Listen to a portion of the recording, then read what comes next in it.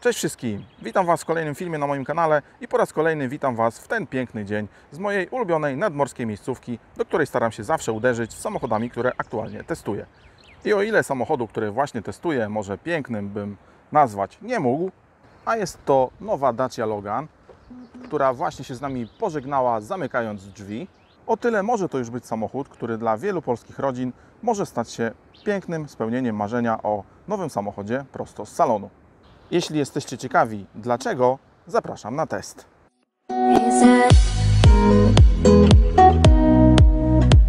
Na początek obejrzyjmy sobie troszkę Logana z zewnątrz. Może to trochę dziwne, żeby przyglądać się Daci, bo nie były to raczej nigdy samochody, które uważane by były za ciekawe stylistycznie.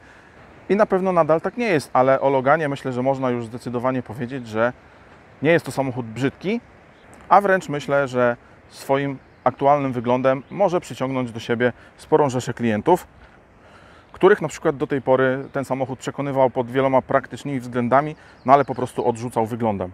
Myślę, że teraz nie powinno się tak już wydarzyć. Tym bardziej, że zapraszam do środka.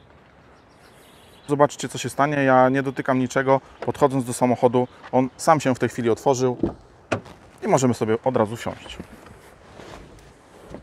Ciężko to oczywiście pokazać po prostu nagrywając wnętrze, ale wierzcie mi, że materiały, które widzicie w tej chwili w środku, to moim zdaniem przeskok o lata świetlne do tego, co było wcześniej w Daci. One oczywiście nie są w żaden sposób mięciutkie i takie, którymi byście się mogli zachwycać, ale tak jak powiedziałem przed chwilą, podobnie jak z zewnątrz, jeśli samochód do tej pory część klientów od siebie odrzucał, no to tutaj już zdecydowanie tak stać się nie może, ponieważ wewnątrz Logan naprawdę nie ma się czego wstydzić. I już za chwilę przechodzimy do testu Logana, ale na początek chwila dla partnera kanału, czyli firmy Car Vertical, dzięki której wszystkie osoby zainteresowane zakupem używanego samochodu, na przykład Daci Logan, mogą dokładnie sprawdzić model, którym są zainteresowane.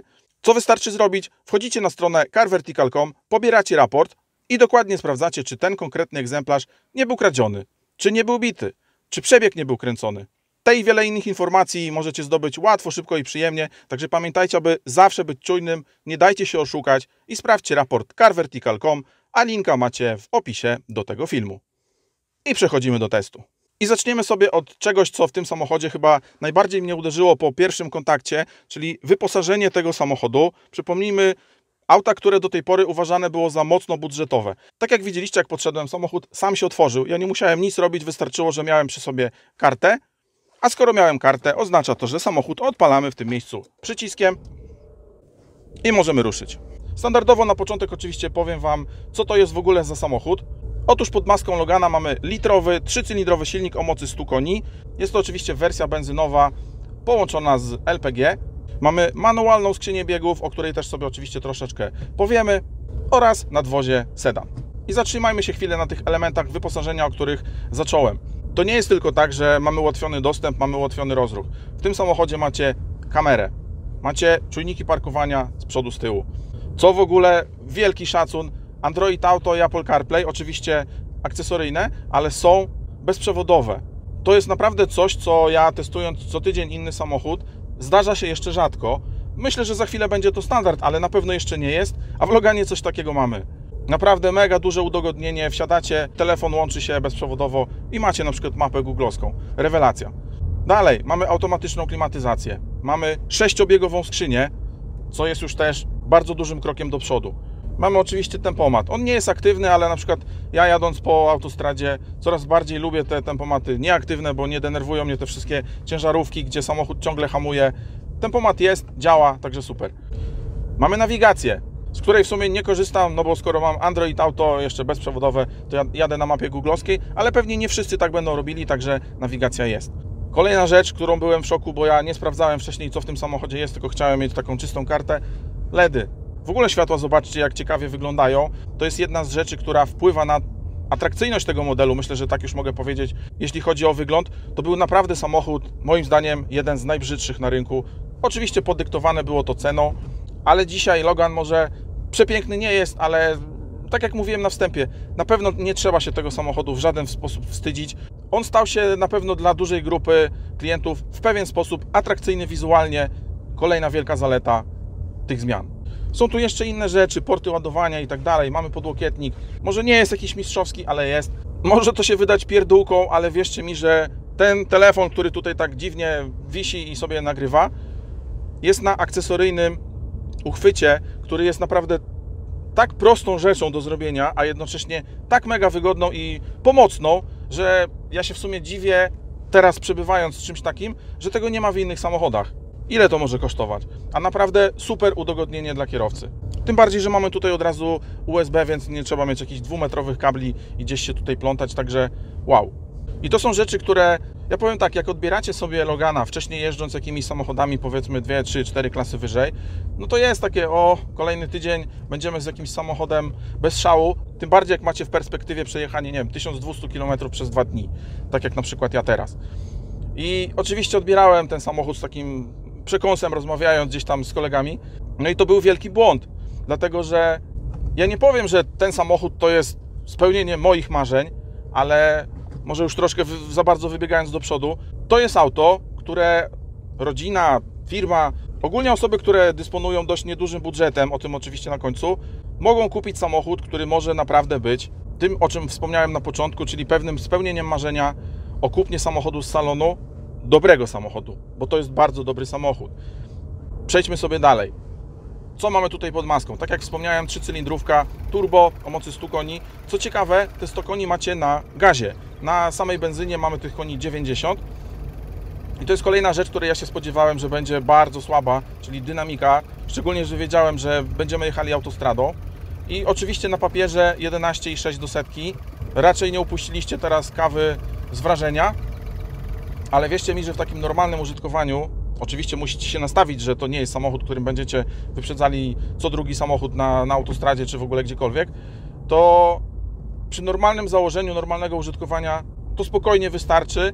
Tym bardziej, że myślę, że większość osób kupująca takie auto ma w głowie oszczędność. I to i oszczędność przy zakupie, i oszczędność przy użytkowaniu. Mamy po prostu tutaj gaz. Także zakładając, że nie będziecie szaleli, kolejna wielka zaleta dla mnie. Ja z takich może kuchni testowania samochodów, jak odbieracie samochody z parku prasowego, to najczęściej dostajecie jeden bak, po prostu zatankowany pod korek samochód.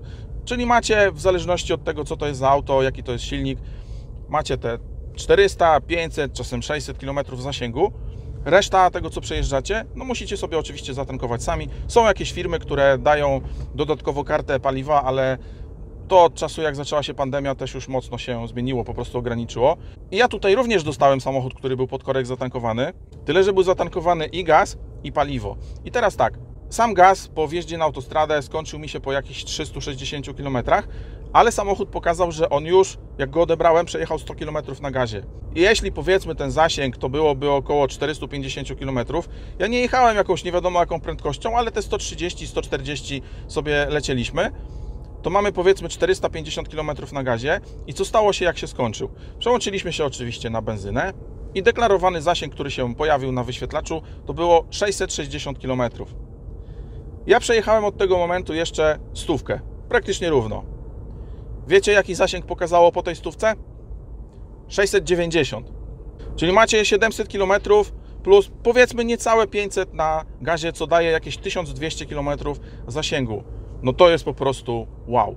I nie chodzi mi o to, że ja zaoszczędziłem na tym jednym baku, tylko no pomyślcie, tankujecie się na stacji, tym bardziej, że połowa z tego paliwa, które zatankujecie to gaz, czyli coś o połowę tańsze od benzyny i 1200 km zasięgu.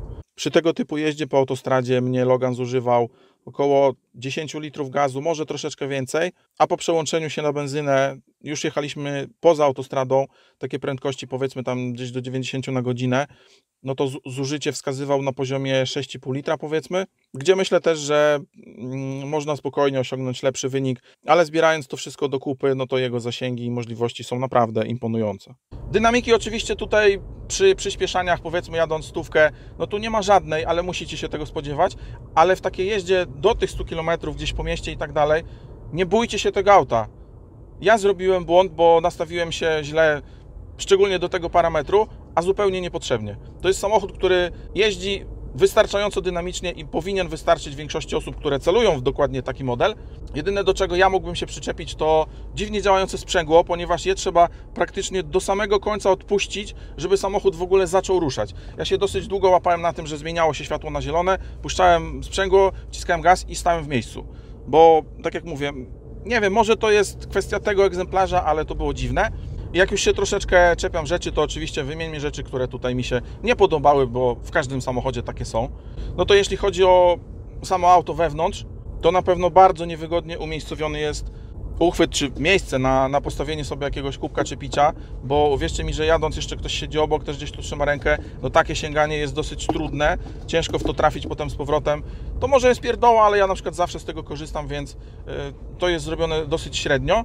Materiałów się oczywiście czepiał nie będę, bo tym bardziej, że na początku powiedziałem, że one są naprawdę przeszły bardzo pozytywną zmianę i są w porządku, są bardzo dobrze spasowane.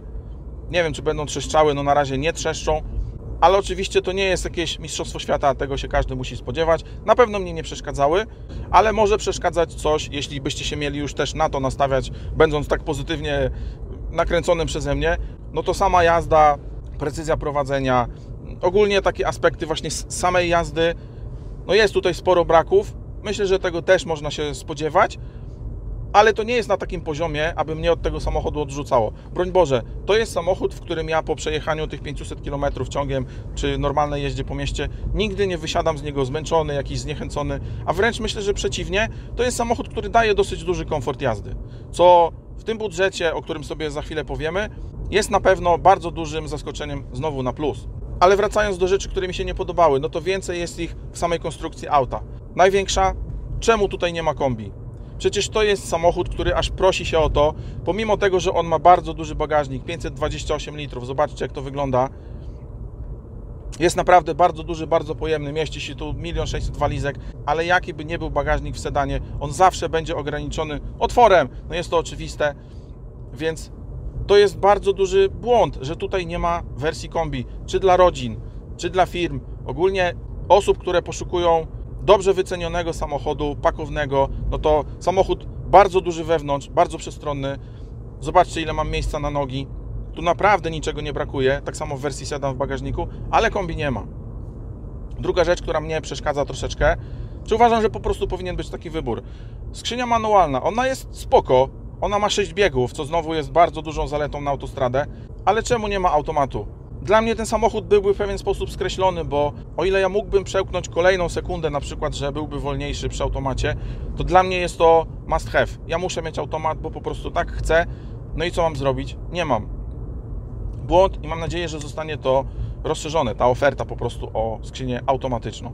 I kolejna dziwna rzecz to to, że może tak, wiecie ile trwa proces wyboru konkretnej wersji silnikowej, wyposażeniowej w przypadku Daci Logan? O ile ja jestem bardzo dużym zwolennikiem upraszczania cenników, jeśli ktoś już decyduje się na daną markę i dan, dany model, to nie powinien spędzić tygodnia nad wybieraniem, że jeszcze to, jeszcze to, a który tutaj silnik, po 15 wariantów. Czasem to jest dobre, ale ogólnie ja jestem zwolennikiem upraszczania. Ale nie takiego upraszczania. Zobaczcie, jak wygląda oferta Daci Logan. Jeden silnik, zawsze z gazem, no bo tylko jeden, tylko manual i dwie wersje wyposażeniowe. Kropka. No jak już jesteśmy tutaj i widzicie, ile ten samochód kosztuje, no to kosztuje z jednej strony bardzo dobre pieniądze, bo to jest 50 parę tysięcy złotych, a po doposażeniu i wybraniu spasionej wersji, tak jak ta, to będzie 63, 4, 5 tysięcy, w zależności co tam wrzucicie, ale jak wrzucicie cały katalog, to macie coś w granicach 66 tysięcy. Bardzo dobra kwota, szczególnie za tak dobre auto. No tyle, że to jest, mówię o podstawie, 20 tysięcy więcej niż poprzednik.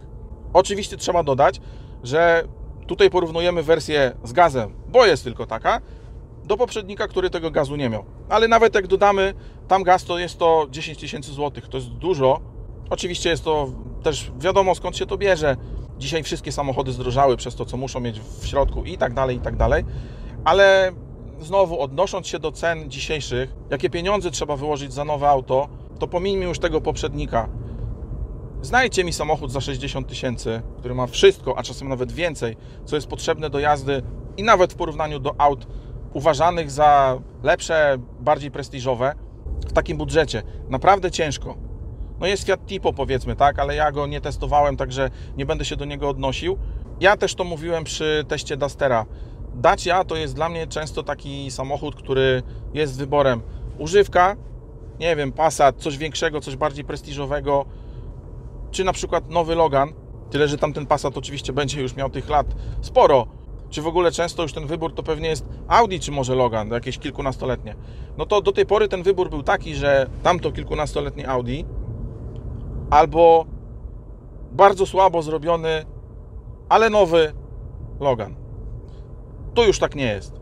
To jest samochód, który mogę określić nawet nie tylko, nie używając za każdym razem słowa w tym budżecie. Po prostu to jest bardzo dobry, bardzo dobrze zrobiony samochód. Trzeba mieć oczywiście pełną świadomość, czym on jest. Ja jestem mega pozytywnie zaskoczony, tym bardziej, że tak jak powiedziałem, dosyć średnio się do, do niego nastawiałem i po prostu nie powtarzajcie mojego błędu. Tyle mogę powiedzieć. Wiadomo, że tu jest po prostu cała masa Renault, prawie że kopiuj w klej. Ma ten samochód kilka niedociągnięć. Przykładowo, taka śmieszna rzecz, zobaczcie. Spójrzcie na ten ekran i powiedzcie mi, czytając te opisy, co byście nacisnęli, chcąc włączyć nawigację.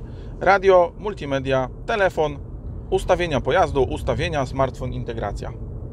No jest to przecież bardzo proste i oczywiste, że naciskamy przycisk ustawienia i wyłącza się nawigacja. No ale to oczywiście bardziej taka śmieszna ciekawostka niż jakiś tam minus samochodu. E, pewna rzecz, teraz też zwróciłem uwagę patrząc w lusterko, tył samochodu, bagażnik, czy też światło stop, one są tak wysokie, postaram się to uchwycić gdzieś na zdjęciu, żebyście zobaczyli, ale w pewien sposób ograniczają widoczność do tyłu i to też mi się do końca nie podoba. No i oczywiście też z pewnych minusów trzeba wspomnieć, że na przykład przy jeździe autostradowej jest oczywiście głośno. Do tego się nie udało tutaj jeszcze przeskoczyć w takim stopniu, abym nie musiał o tym mówić, bo samochód nie jest bardzo źle wyciszony. To nie jest tak, że tu Wam głowa odpadnie, jak dojedziecie te 500-600 km, ale jest dosyć głośno. Też jak już wspomniałem o wyświetlaczu, to mm, troszeczkę to rozwińmy. To jest bardzo prosty system na maksa.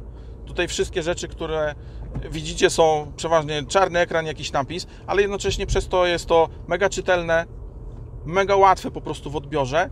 Nawet mogę stwierdzić, że mi się taka prostota podoba. I to, co znowu mnie zaskoczyło, całkiem spoko audio.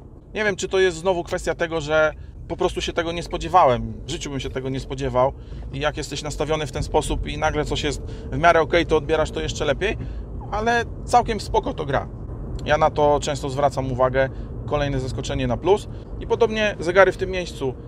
Ciężko zrobić coś jeszcze prostszego, ale znowu wsiadasz i od razu wiesz o co chodzi. Tutaj tych ustawień jest dosłownie kilka, typu zasięg, aktualne zużycie, naprawdę podstawowe rzeczy, ile macie gazu, ile macie benzyny. Właśnie, to, że ten gaz jest fabryczny, powoduje, że komputer tutaj informuje Was o wszystkim związanym z gazem, zasięgiem właśnie, czy, czy, czy po prostu widzicie, ile tego gazu jest. I to jest bardzo duża zaleta, bo to nie jest coś dołożonego. Macie gdzieś tutaj po prostu ikonkę, że gaz jest albo nie ma, tylko to jest gaz fabryczny i to jest super sprawa właśnie pod tym względem. Przełączamy go po lewej stronie od kierownicy, jest tutaj taki przycisk. Całkiem spoko to jest zrobione. Ja dawno nie jeździłem samochodem z gazem, o i to też może wspomnę. Czuć to oczywiście przy uruchamianiu, gdzie bardzo szybko samochód przełącza się na gaz, ale już sama jazda kompletnie tego nie czujecie. Jakbym nie wiedział, że to jest samochód z gazem, wsiadłbym z kimś, to bym się pewnie nie domyślił. Jak już bym, nie wiem, wsiadł, od razu jechał. Po uruchomieniu oczywiście słychać, ale to jest moment. Myślę, że to jest kolejna zaleta. No dobra, dajcie znać, co Wy myślicie o takim samochodzie, o takim budżecie. 60 parę tysięcy, zawierając praktycznie cały katalog modelu. Za tak wyglądające, tak jeżdżące auto, z mojej strony naprawdę bardzo duże brawa dla Daci czy Renault za stworzenie takiego samochodu. Naprawdę kapitalna alternatywa dla aut używanych, coraz bardziej groźny rywal dla innych nowych samochodów, na przykład mniejszych czy dużo mniejszych w podobnym budżecie. To już jest czas, kiedy trzeba przestać się, może nie śmiać, ale bać Daci. Można zacząć patrzeć na nią z pewną dozą przyjemności i po prostu cieszyć się nowym samochodem. Coś, co trzeba zawsze chwalić. Jeśli ktoś daje możliwość kupienia nowego samochodu tak dobrej jakości za 60 tysięcy dzisiaj, to trzeba tylko przyklasnąć. Takie jest moje zdanie. Standardowo piszcie, co Wy o tym sądzicie, a ja zapraszam na kolejne testy. Do zobaczenia. Trzymajcie się. Cześć.